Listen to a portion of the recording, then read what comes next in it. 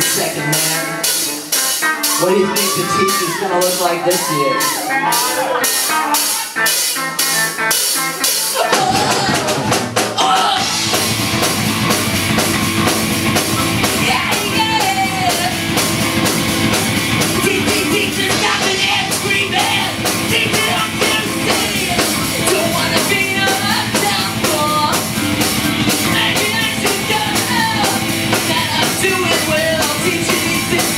I touch you?